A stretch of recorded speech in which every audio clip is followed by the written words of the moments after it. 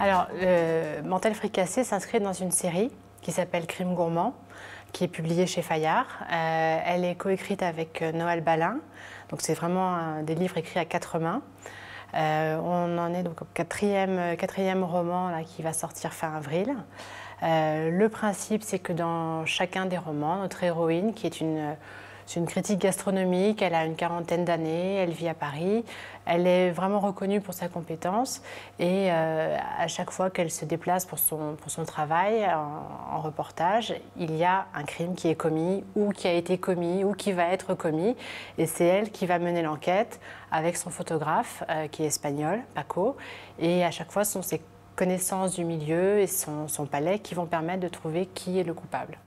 Alors l'idée même de mêler euh, gastronomie et euh, roman policier, ça vient de, Noël Balin, mon co-auteur, qui il y a, euh, on est en 2016, donc il y a plus de dix ans, a eu l'idée de créer Le sang de la vigne, qui est une série de romans policiers chez Fayard également, il en est au 26e.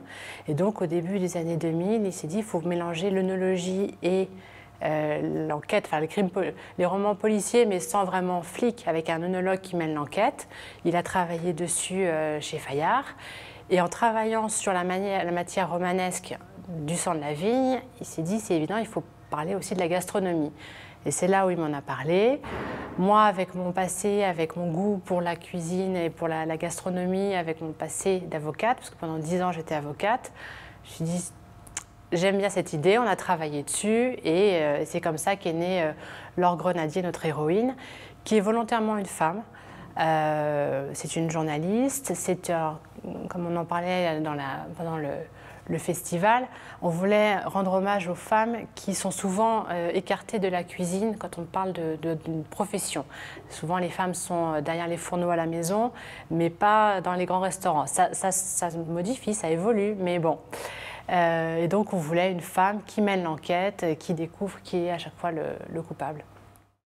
D'abord, je dois dire que j'ai beaucoup ri, parce que j'ai découvert John Banville, qui a, euh, il a un côté caustique, qui est vraiment, on voit que c'est un, un, bel esprit et il est très très drôle. Euh, donc, on a parlé de, polar et, de, gastronomie. Michel a plus une dimension historique puisque ses romans se passent au Moyen Âge. Euh, John, lui, était plus dans des, romans qui ne sont pas forcément euh, autant impliqués dans la gastronomie que, nous, mais avec un regard intéressant qui est un regard d'étranger qui est venu en France, qui ne comprend pas forcément toujours la passion qu'ont les Français pour la, gastronomie. Et c'est ça qui est intéressant aussi, c'est que on a des cultures proches et en même temps différentes. Donc on peut, on peut échanger, on peut se comprendre et en même temps, euh, bon, la grenouille, je pense qu'il n'en mangera jamais et on ne lui en veut pas.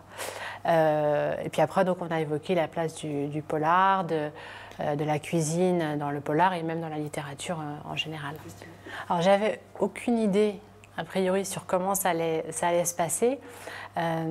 après, pour avoir beaucoup voyagé, j'ai conscience que les, il est important d'avoir des relais culturels euh, français dans, différents pays et que c'est par, euh, par la culture, par la littérature, par la musique, peu importe le, support, qu'on arrive à faire ces échanges entre les, donc ici les Irlandais, mais aussi les Français qui vivent à l'étranger, qui restent français, mais qui sont un peu coupés aussi de, de la, base du pays. Et donc, c'était de nourrir euh, une relation aussi avec, euh, bah, avec des, écrivains irlandais qu'on ne connaît pas forcément, qui ont des approches différentes. Euh, c'est de façon générale une des qualités des salons euh, littéraires et des festivals, c'est que le métier d'un écrivain est très solitaire. On est seul face à notre ordinateur, notre page blanche. Et là, on croise des gens qui font le même métier, qui ont les mêmes difficultés, les mêmes doutes. Euh, même si on a des prix sur des, très gros vendeurs, bah, il y en a les mêmes difficultés. Euh, et donc, c'est bien d'avoir euh, ces, moments de partage, en fait.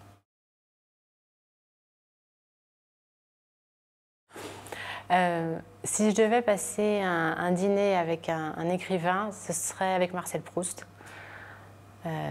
définitivement, oui. C'est quelqu'un de très drôle. Euh, dans un de mes romans, euh, c'est celui qui se passe en Normandie, la crème était presque parfaite. On a construit un restaurant qui n'existe pas, dont la carte est euh, composée de plats qui sont dans la recherche du temps perdu. Donc c'est le concept. Et en le relisant, parce que de toute façon, la recherche, on la relit toujours, on la lit jamais, on la relit.